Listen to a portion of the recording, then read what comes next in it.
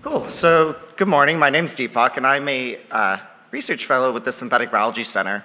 And so today we're just going to talk about kind of how do we apply synthetic biology for augmentation in the capacity of talking about organoids. And so where I first want to start is about 25 years ago, we saw actually an ear on the back of a mouse from Linda Griffith here at MIT and some other researchers in the Boston area. And you start thinking to yourself, well, wow, we're building tissues.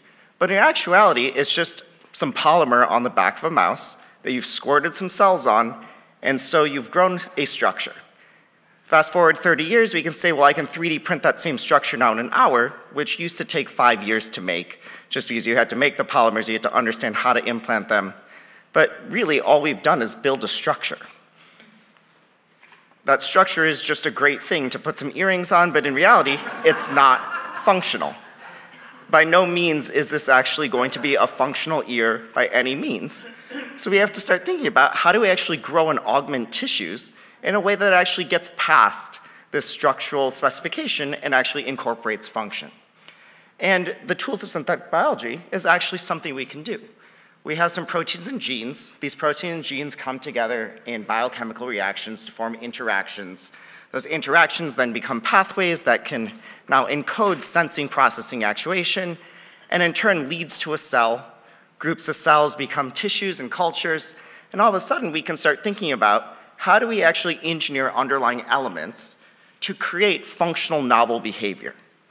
So this is always a good time to pause and reflect that a cell, robots, biobots, whatever you want to call them, often benefit from establishing kind of engineering paradigms so we can think about this a little bit more deeply. If we had to engineer a cell from scratch, we probably wouldn't put the mitochondria and the ribosomes exactly where they are. But we can use kind of this sensing, processing, actuation and start brainstorming the fact that there are many modalities accessible to us in this programming nature. I can go at the chemical molecule, I can use proteins, I can use mRNA, I can use all of them all together, and we can actually put all of these together to start thinking about how do we build systems. This is where I usually take a pause and say, while we often think about digital logic and this very ordered cell, courtesy of Tim Lu, where we can program anything, uh, it's always healthy to know, as we are before lunch, that a cell is closer to a burrito. So we have to start thinking, how do we harness biology? How do we augment these things?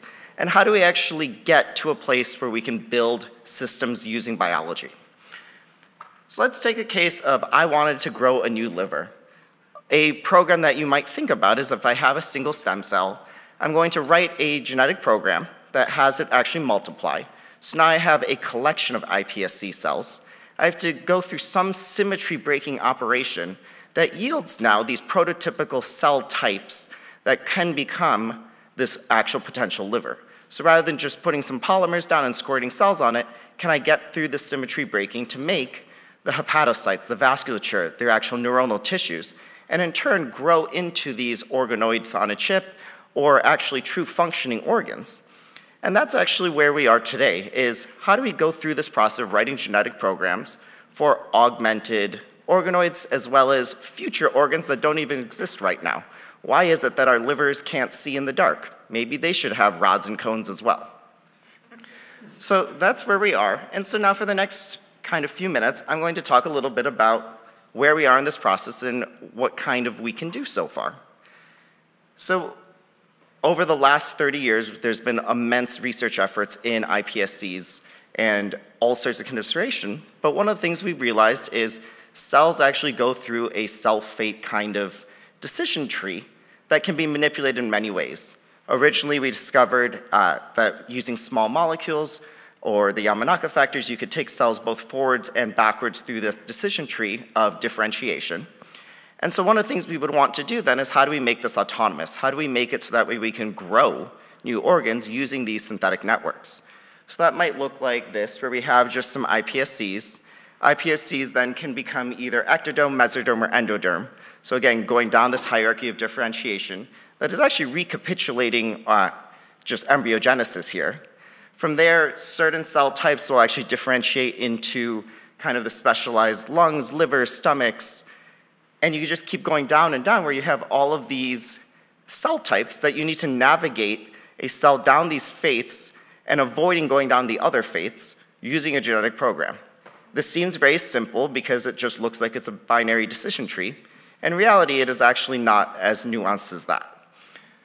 But you can still, we try to write this program saying we want a self-timed differentiation uh, multi-step process where I have an input chemical that starts down this progression and I incorporate feedback. And indeed, that's what we've been starting to do, is this is now work that was published a few years ago. Patrick Gee and Mo uh, Ibrahim, both of whom are familiar in the MIT community, as we've all been here 10 years now.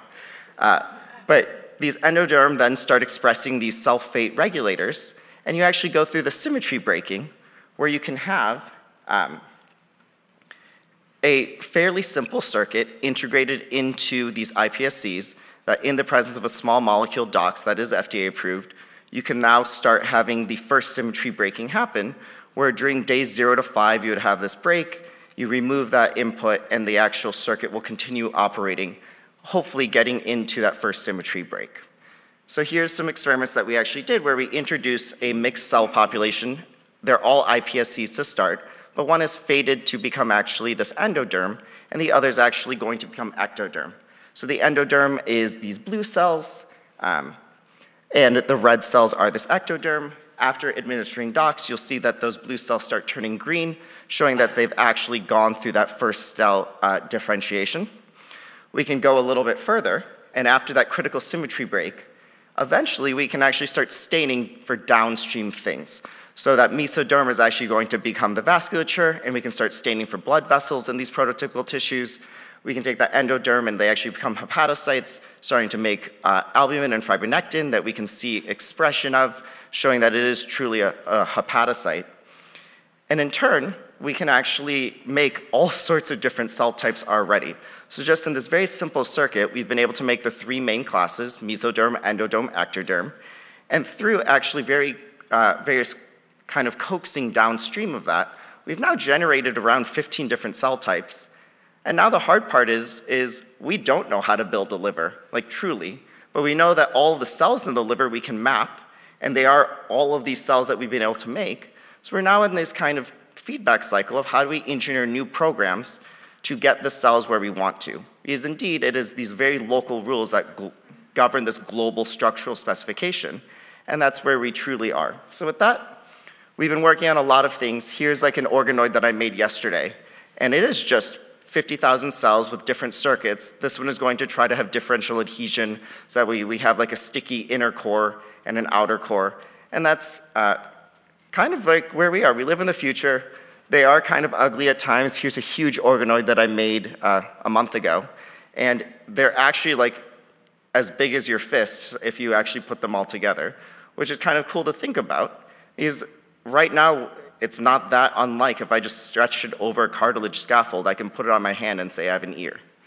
So with that, all this work takes many, many people as this is probably around 10 years of work, both by myself, by all of my collaborators, by the entire Weiss Lab as a whole. And I'm always happy to chat about anything related to ears, burritos, and SynBio.